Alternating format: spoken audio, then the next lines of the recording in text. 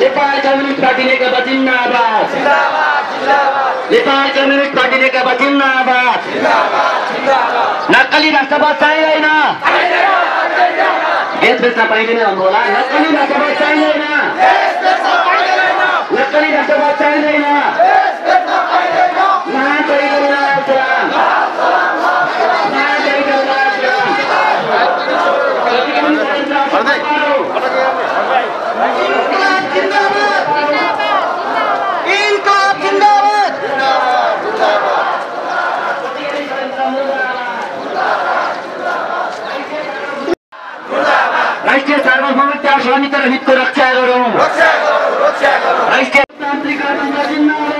जिंदाबाद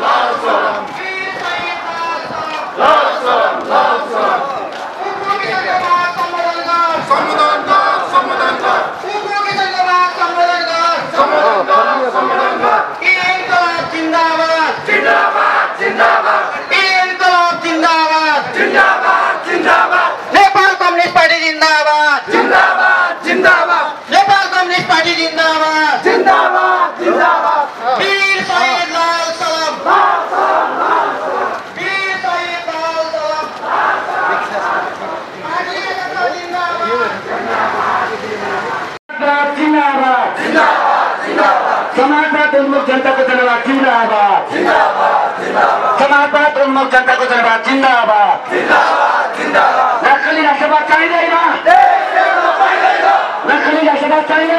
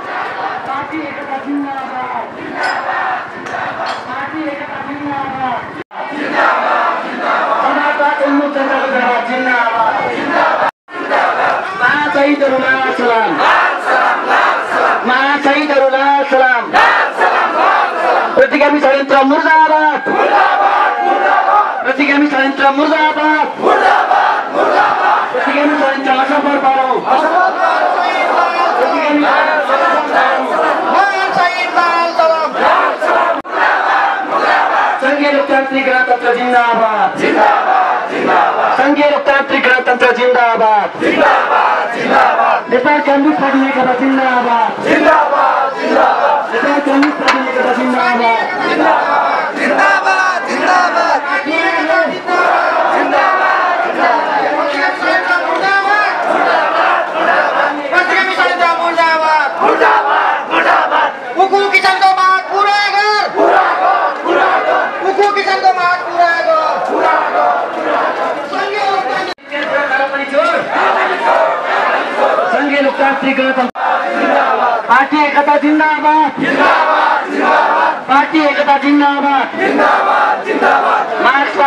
लेनिनवाद जिन्दाबाद मार्क्सवाद लेनिनवाद जिन्दाबाद समाजवाद जिन्दाबाद समाजवाद जिन्दाबाद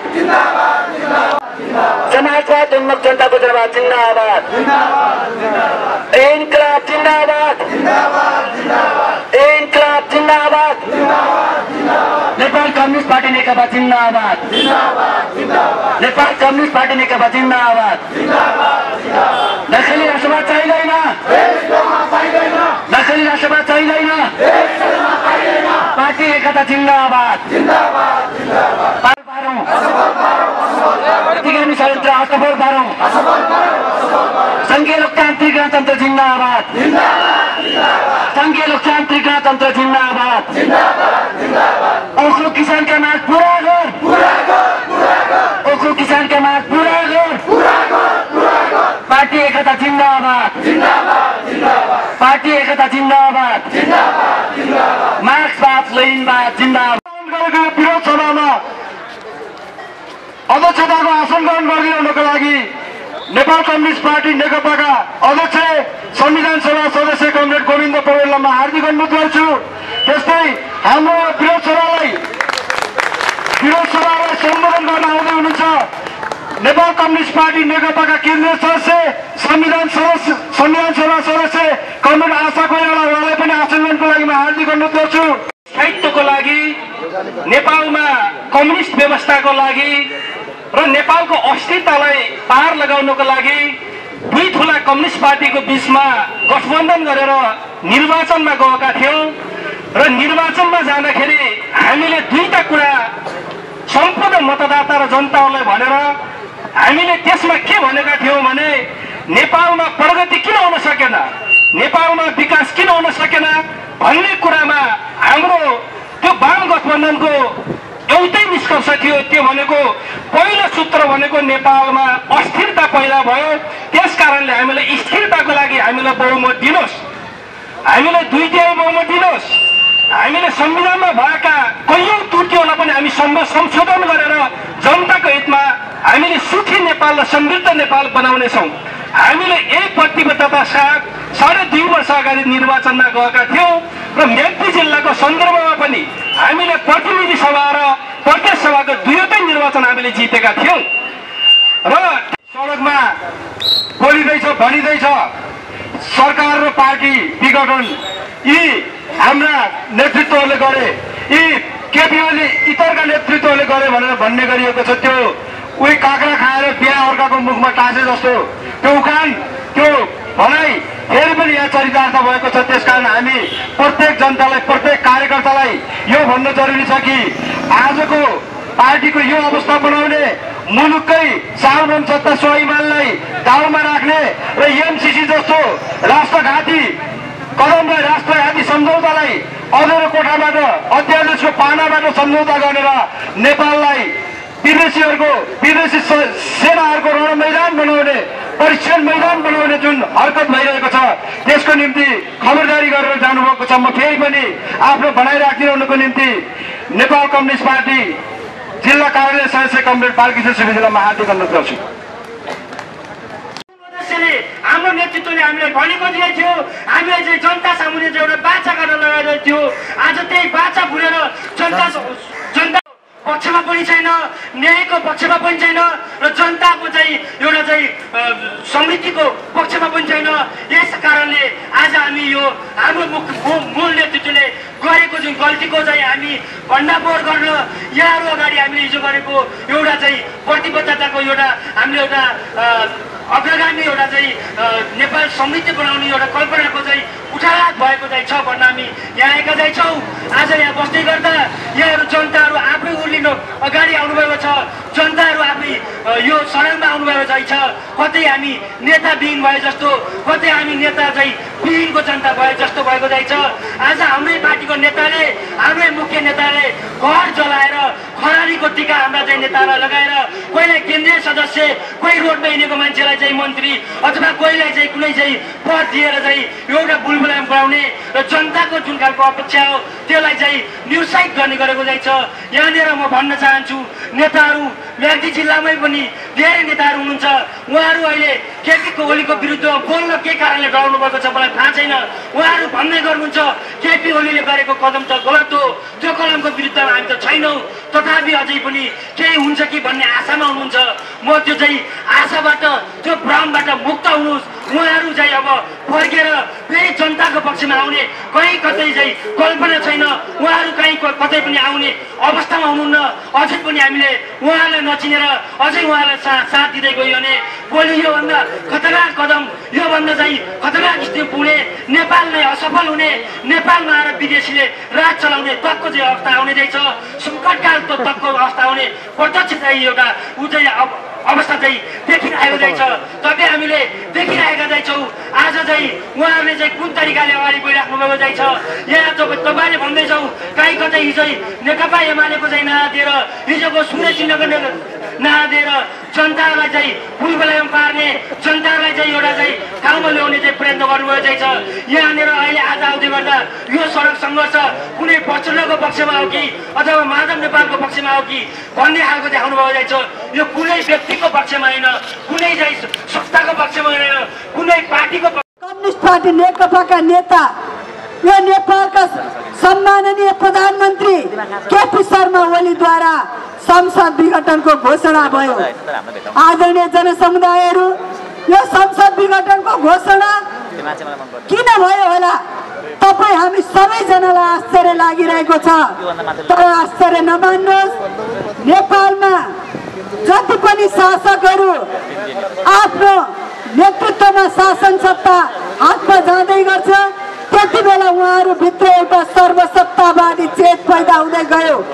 नेपाल कम्युनिस्ट पार्टी नेकपका नेता तथा यो देशका प्रधानमन्त्रीमा भएको सर्वसत्तावादी चरित्रको कारणले म बाहेक यो राज्यमा अरू कोही पनि सक्षम छैन भन्ने त्यस्तो खालको अहम र घमण्डीपन भएको कारणले उहाँको एउटा स्वेच्छाचारी चरित्रको कारणले यो नेपालको संसद विघटन भएको छ यो नेपालमा उहाँलाई न त अविश्वासको प्रस्ताव राखेर उहाँको संसद विघटन गर्नुभएको छ न त यो